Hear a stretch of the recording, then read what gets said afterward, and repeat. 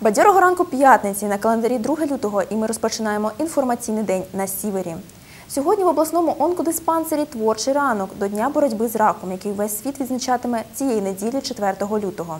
Для онкохворих волонтери проведуть майстер-класи з догляду за собою, розкажуть, як піклуватися про шкіру рук та обличчя під час хвороби, покажуть, як зав'язати на голові тюрбан. Займатимуться з пацієнтами і психологи.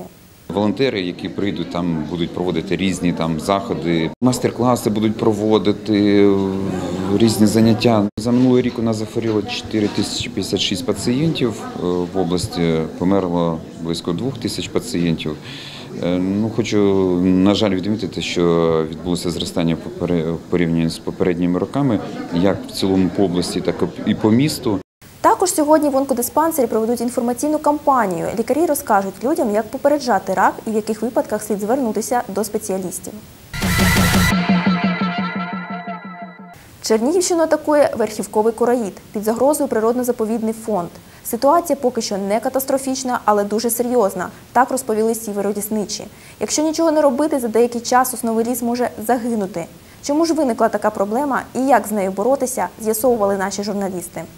Зараження насадження відбувається, е, ну, проявляється тим, що молоді гілки вони відпадають від пориву вітру. Караїд їх перегризає, видно враження, труха. І вони просто ну, дуже легко ламаються. На гілці, яку показує лісничий Мекшунівського лісництва Павло Рабинок, добре видно маленькі дірочки. Такі самі бачимо на стовбурах багатьох сосен Рібкінського району. Деяким з них більш ніж 100 років, проте їх уже не врятувати.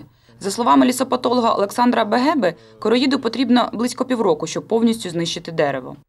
Треба десь е, два квартала, це 6 місяців. 6 місяців для цього, щоб з е, здорового, ну, більш-менш здорового дерева четвертої категорії е, була вже шоста категорія. Як пояснив Олександр Бегеба, шоста категорія це старий сухостій.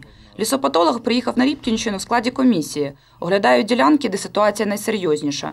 Та боротися з короїдом не так просто. Єдиний вихід зрубати уражені дерева.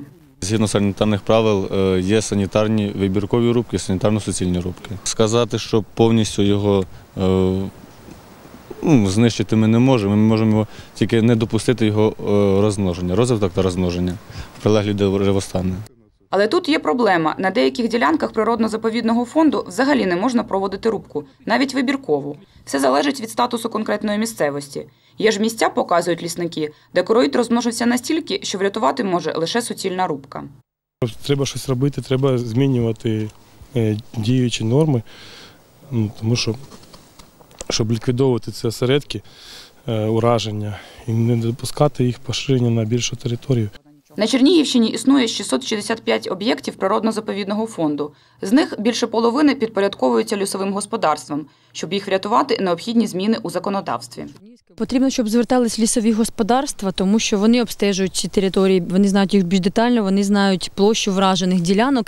І однозначно вони повинні звертатись і до Держлісагентства, і до Міністерства екології з е, проханням внести зміни якісь е, в санітарні правила в лісах України, також в закон про природозаповідний фонд України, тому що саме цими е, нормативно-законодавчими актами заборонені будь-які види робіт, наприклад, тих же заповідних урочищах.